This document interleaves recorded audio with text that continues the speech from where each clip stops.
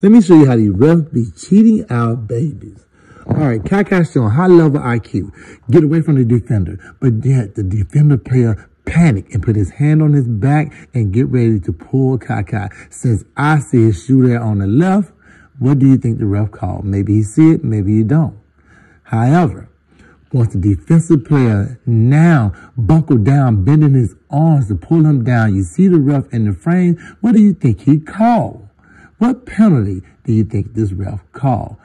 Clearly now you see there's another penalty going on. Kaka has his face mask and he has Kaka face mask. What do you think the ref called?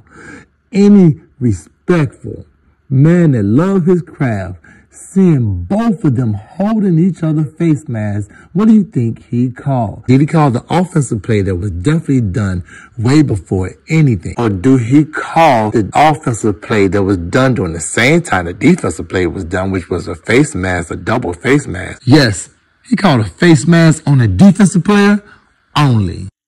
Chaos mentality. Any players in the game, you can get it. Any coaches on the field, Confused baby wondering what he did wrong.